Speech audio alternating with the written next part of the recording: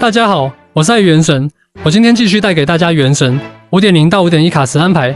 火神上线时间、新角色属性、例会发布时间确定。元神娜塔五点零宣传片要来了，新角色例会安排，七月事件提早看。元神三百兑换码，娜塔前瞻来了，五点零到五点一新角色安排，星岩盾拐上线。元神五点零开启一百级，新增突破道具，强迫玩家打深渊。四点八可获九十抽，原神五点零开启一百级，新增突破道具，强逼玩家打深渊。四点八可获九十抽。根据时间上面的安排，四点八版本前瞻将会在七月五日晚间正式播出。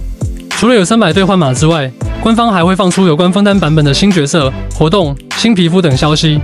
按照三点八版本放出枫丹组成消息的设定来看，在四点八版本中，官方也有可能提前放出娜塔的相关内容。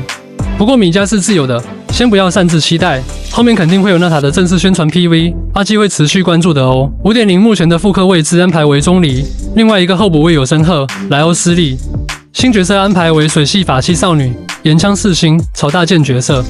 五点一版本将会有一个岩系成员辅助。火神的上线时间大约在五点一到五点二版本之间上线，图片大致看下就好。目前距离娜塔还有一个版本，卡池安排概率较低。至于有关娜塔的消息。个人推测，官方会在七月十五日左右放出相关预告。四点八版本的上线时间为七月十六日，这就意味着在前瞻直播结束之后到四点八版本上线之前，官方就会给那台预热了。按照时间设定，在同一天，官方也会发布五点零新角色例会。等到测试服开启后，玩家就可以见到娜塔版本的角色建模以及实机展示了。目前来看，玩家对于娜塔的关注度还是很高的，特别是可以利用龙类来进行探索的玩法，更是勾起玩家的好奇心。新版本能否让原神回归巅峰？我们拭目以待。目前原神已进入长草期，好在四点八版很快就要开启了。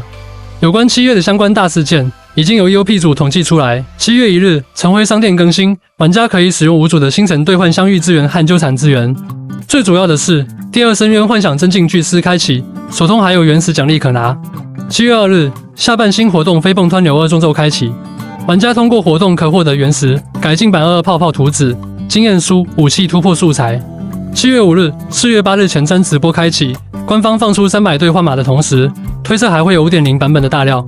七月八日，双倍地脉开启，想要培养角色的玩家可以注意一下的。结束时间为七月十五日。七月十二日到十三日，原神 X 六展会，请各位旅行者提前买票，注意时间安排。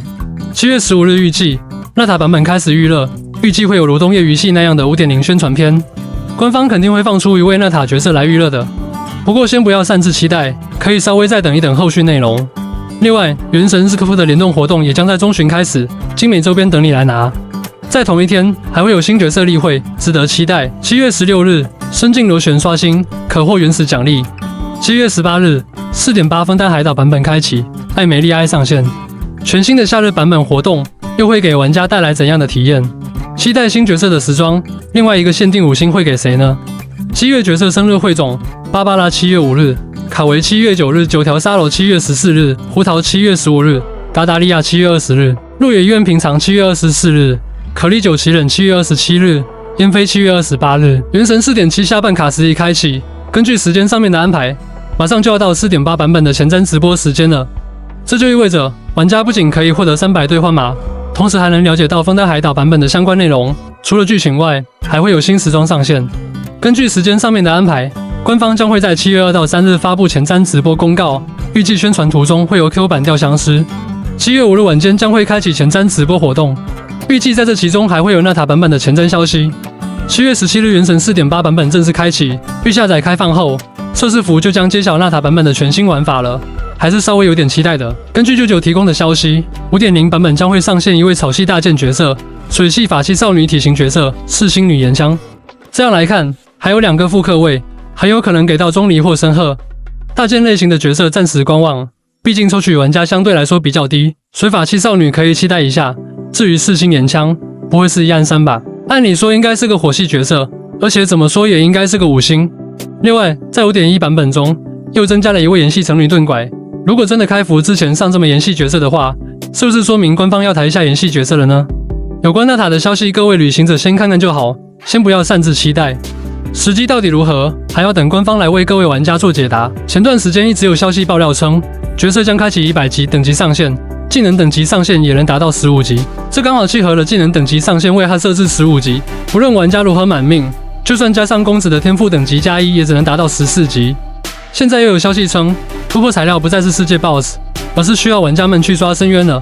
每层深渊满星后才能获得材料，这么一来，深渊想不满星都不行了。这话这波算计的是真好啊！材料要是涉及到了深渊满星，那就意味着角色强度及配对等都得跟上，角色太少的玩家还打不了，少不了逼氪的嫌疑。要是天赋突破十五级的话，那公子是不是可以将天赋突破到十六级？现在想这些也没用，五点零那塔才会开启角色等级上限，是不是真的就等前瞻直播了？另外就是四点八版本可获得原石已经有大佬统计出来了。林克党还是一样的少，月卡党勉强一个小保底，只能说老米还真是初心不变。很多小伙伴都知道，限定角色的含金量是远超常驻角色的，人进常驻角色强度往往都是库里狂拉。虽然强度并不喜人，但也有不少常驻角色等到了自己的售后，总算不会被丢去仓库无人问津。卢克勤在计划队中大放异彩，提纳尼在提巴纳站的一席，秦也有相应的队伍。就算在拉胯的七七，至少可以作为奶妈重归战场。唯独迪西亚最特别，可以说是没有什么队伍会要用到迪西亚。主要就是自身机制问题，刚上线那么基本上就是各种整活工具，不死小强的称号真不是盖的。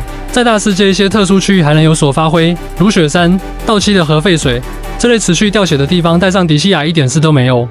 但配对讲究的不是自己不死，全队减伤看起来挺不错的，但终归还是会死。刷深渊根本顶不住怪物的攻击，而康打断这块时间太短，还不如钟离全程套盾舒服。